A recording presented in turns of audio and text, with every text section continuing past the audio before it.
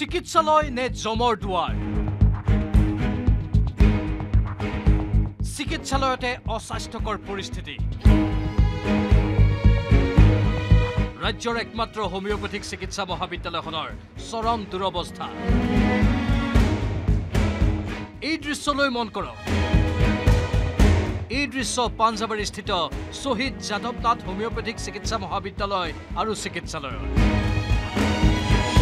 এখন চিকিৎসা মহাবিদ্যালয়ৰ অৱস্থা কিমান শোচনীয় হ'ব পাৰে আজি আমি দেখুৱাম আপোনাক। এনেদৰেই ইটাৰ ওপৰেৰে অহা যোৱা কৰিছে স্বাস্থ্যকৰ্মীয়ে।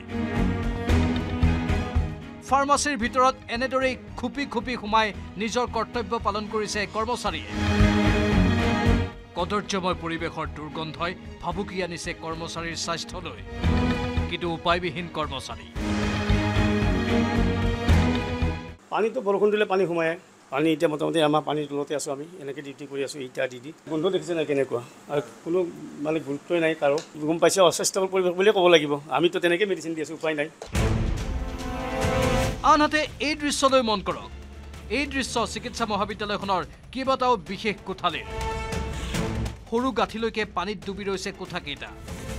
লালুকি মহ ভেকুলীৰ বাসস্থানলৈ ৰূপান্তৰ হৈছে কোঠাকেইটা। পানীৰ ফলত কোনো ৰোগীকেই ভৰ্তি কৰি ৰাখিব নোৱাৰে চিকিৎসালয়খনত। কেৱল অ' পি ডি বিভাগতহে হয় চিকিৎসা। নিষ্ক্ৰিয় আই পি ডি বিভাগ ৰাজ্যৰ স্বাস্থ্যখণ্ডৰ পয়ালগা ছবিখন চাই হয়তো আচৰিত হৈ পৰিছে আপুনিও। কিন্তু কেৱল ইমানতেই শেষ নহয়। চিকিৎসা মহাবিদ্যালয়খনত থকা একমাত্ৰ এক্স ৰে মেচিনটো বৰ্তমান সময়ত বিকল। এখন এম্বুলেন্স আৰু এখন ষ্টাফ বাছ আছে কিন্তু চালক নোহোৱাৰ বাবে নচলে গাড়ী দুখন। ফলত চৌহদতেই থিয় হৈ থাকি ফুলদানিৰ দৰে কেৱল শোভাবৰ্ধন কৰিছে গাড়ী দুখনে। অসমৰ একমাত্ৰ হোমিঅ'পেথিক চিকিৎসা মহাবিদ্যালয়খনত এম্বুলেন্স আছে কিন্তু নচলে গাড়ী কাৰণ ড্ৰাইভাৰ নাই। এক্স ৰে মেচিন আছে কিন্তু বিকল হৈ পৰি আছে। কিয় হৈছে বৰ্তমান সময়ত ৰাজ্যৰ স্বাস্থ্যখণ্ড এনে দুৰৱস্থা? এই দৃশ্য আকৌ চিকিৎসা মহাবিদ্যালয়খনৰ কেণ্টিনৰ।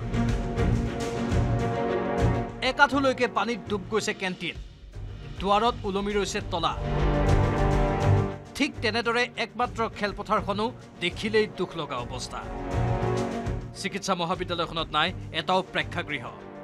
নাই ছাত্ৰাবাসৰ সুব্যৱস্থা। ছাত্ৰীনিবাস আছে যদিও পৰ্যাপ্ত সুবিধা নোপোৱাৰ অভিযোগ।